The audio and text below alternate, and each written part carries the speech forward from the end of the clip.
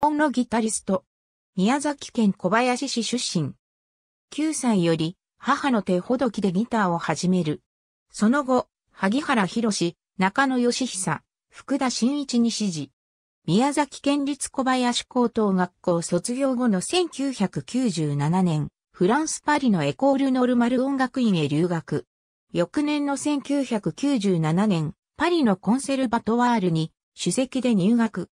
1998年、ハバナ国際ギターコンクールにて2位受賞。同時に、レオ・ブローウェル作品最優秀演奏賞を獲得。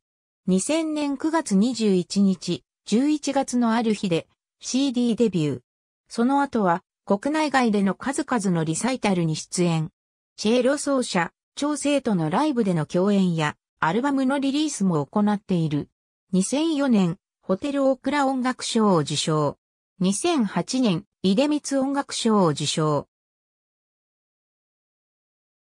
11月のある日、2000年9月21日シエロ、2001年8月22日、ブルー、2003年1月22日島へ、2004年1月21日、ハバナ、2005年6月22日ハバナライブ。2005、2005年10月21日、10弦の響き、2005年11月23日、超生徒の共演作、アクアレル、2007年2月21日思いの届く日、2008年3月19日、風の道、2009年3月18日フェリシタシオン。